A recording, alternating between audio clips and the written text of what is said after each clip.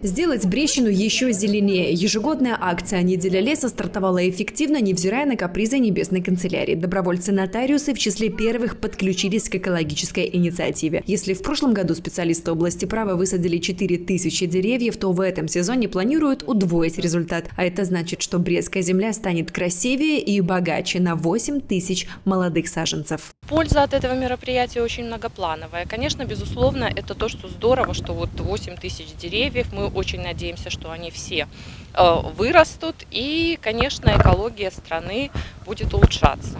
Кроме того, конечно, это коллектив собирается в нерабочей обстановке, и помимо рабочих моментов, это еще вот такая вот трудовая деятельность на пользу, опять же, всем. Механизм акции таков. Желающие обращаются в Брестский лесхоз, работники которого помогают определить места, сегодня особенно нуждающиеся в зелени. Сотрудникам областной нотариальной палаты предложили уголок в Муховецком лесничестве. Основные работы развернулись вдоль трассы. Возле проезжей части с раннего утра было многолюдно. Территорию лесного массива преображали порядка двух десятков нотариусов. Прижиться должна каждая сосна и береза, ведь сажали точно по технологии и, главное, с каким настроением. Я уже второй раз участвую именно в акции, проводимой недели леса, потому что мне нравится любой контакт с природой.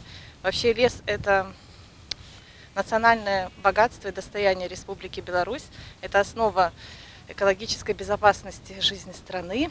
И мы стараемся не только сохранить, но и приумножить богатство нашей родной земли для наших потомков. В этом году акцию приурочили к Году Малой Родины и 75-летию освобождения Беларуси. Задача марафона – привлечь как можно больше людей к проблемам лесного фонда и привить бережное отношение к одному из главных природных ресурсов страны.